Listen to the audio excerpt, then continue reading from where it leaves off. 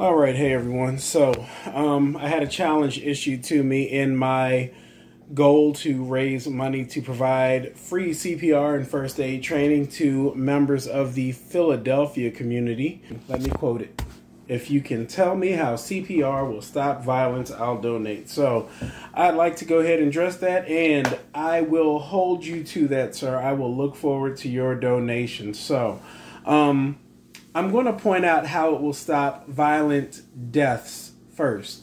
Not how it will stop violence, but how it will stop violent deaths. Deaths as a result of violence. First, I'd like to start with a study that was um, published by the United States Army, the uh, U.S. Army Center for Lessons Learned.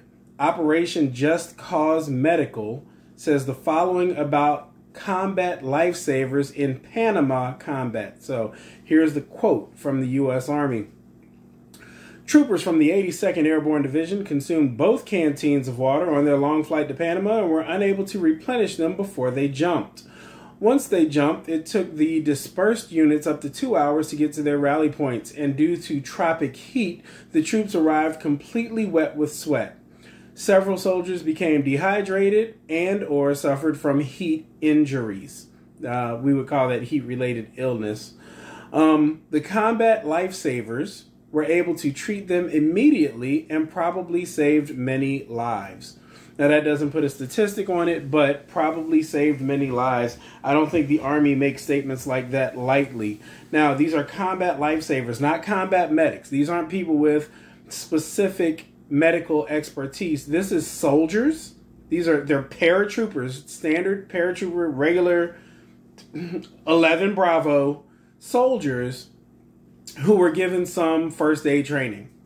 That's a combat lifesaver. Um, and they were able to save the lives of their compatriots. There is something called the trauma chain of survival. That is uh, the the the things that must happen, the chain of the string of events that must happen to ensure that a person does not die as a result of a trauma they have surf- suffered. The first link in the trauma chain of survival is early first aid. I'm going to post a picture to that somewhere on the screen so you can see that for yourself. Early first aid is the first thing that needs to happen to prevent deaths in traumatic incidents. This study is called Are Pre Hospital Deaths from Trauma and Accidental Injury Preventable? A direct historical comparison to assess what has changed in two decades.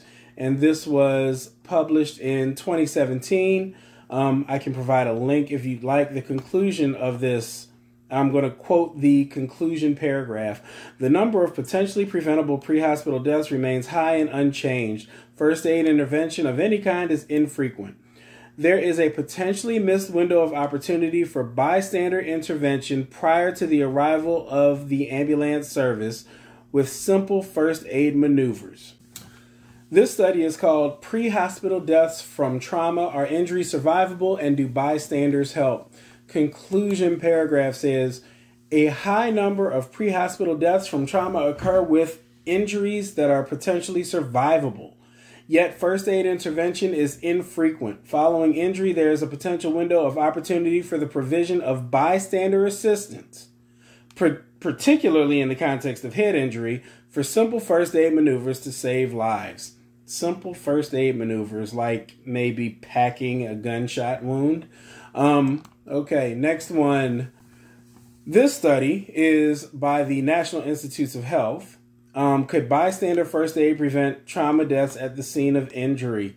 Um, this one, the conclusion, well, let's. They reviewed 112 cases that they had full ambulance care records, hospital records, and autopsy details.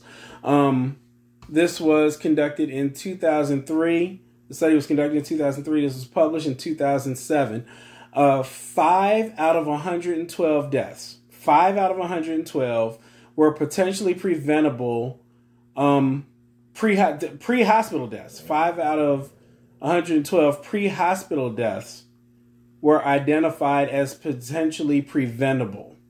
Um, five out of 12. I want to compare that to the number five out of oh, sorry five out of 112 we'll just say five out of 100 i'm just going to round it to five out of 100 um, with 480 what's the number? 486. 486 gun fatalities in the city of Philadelphia in 2021. Uh, we'll, we'll say that's that's about 24 of them. 24 lives. I'm, I'm rounding here. I'm estimating 22 to 24 range um, lives that could have been saved had somebody on the scene when the gunshot first happened, um, or gunshots first happened, may have been able to keep them alive.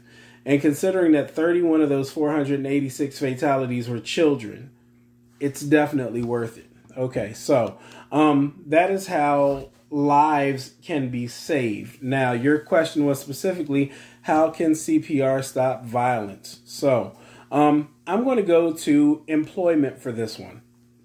So, here is a list of jobs that employers who hire for these positions they either require first aid training, CPR first aid training, or they make you get CPR and first aid training before they actually officially hire you, or they give preferential hiring to people who have CPR and first aid training for these jobs. So we've got a truck driver, a roadside highway worker, warehouse associate, emergency medical responder, of course, kindergarten teacher, summer camp counselor, shop hand, skilled laborer, pump operator, industrial scaffolder, general construction labor, in- industrial coder, not sure what that is, um, overhead door installer, carpenter,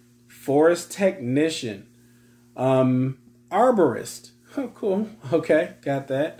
Um, AG operations specialist. Don't know what they mean by AG. Agriculture, agriculture operations specialist. Aquatic coordinator, lifeguard, security guard, cleaner, sales representative. That one's a little bit of a shock to me. Um, these are all jobs that having a Red Cross CPR and first aid certification gives you a foot in the door. This is uh, the, this is a training a certificate that if someone holds it, it can help them get a job. Okay, what does that have to do with preventing violence? You can search uh, scholar.google.com or if you have access, um, JSTOR, um, that's the uh, journal storage system. Um, if you have access to that, you need to have some kind of um, academic affiliation, I think, to have access to JSTOR. Um, but you can do that research on your own. It is definitely proven that diminishing the unemployment rate within the community also diminishes, diminishes both violent and nonviolent crime in that community. So, getting people this training can increase their employability, thus reducing the unemployment rate in that community, which will definitely have a negative impact on violence. So, um, hope this is helpful. I look forward to your donation.